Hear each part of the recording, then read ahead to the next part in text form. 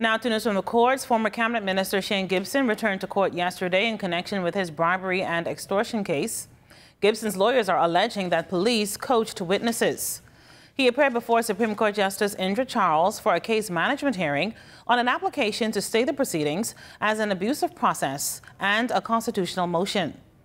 Gibson's trial was initially set for July 11th, but the date was vacated after Chief Justice Stephen Isaacs died.